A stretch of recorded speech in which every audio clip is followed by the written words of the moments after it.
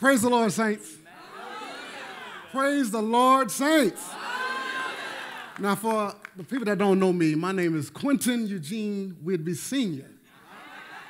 I'm a man. I'm a straight man.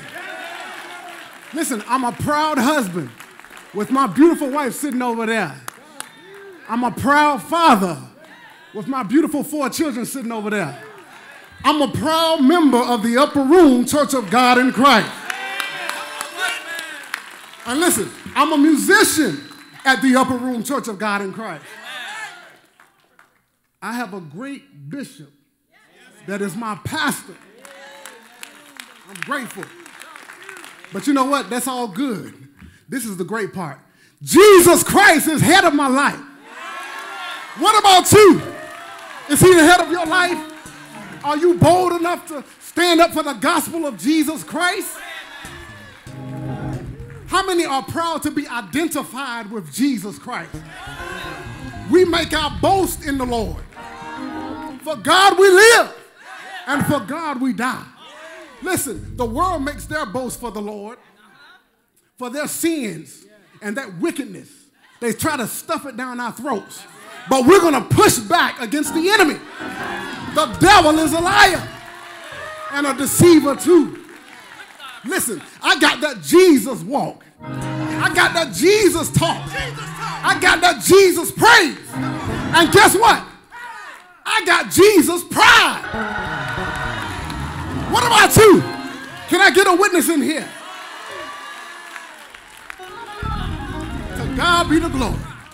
Bishop, thank you for this opportunity to be the second voice to publicly acknowledge Jesus Pride Month.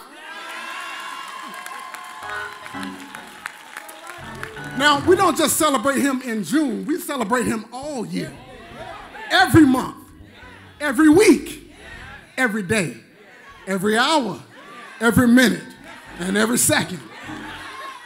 To God be the glory. Now, I heard that there's a celebration, another celebration that's going on this month, and it's a wicked celebration. But what they fail to realize is at the end of the day, when it's all said and done, there's going to be a greater celebration. And they have to participate with all the other unbelievers. They are participating with a name above every name. At the name of Jesus, every knee should bow of things in heaven and things in earth and things under the earth. That at the name of Jesus, Jesus Christ is Lord.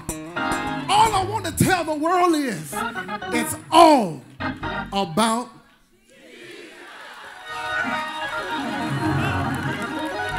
Jesus.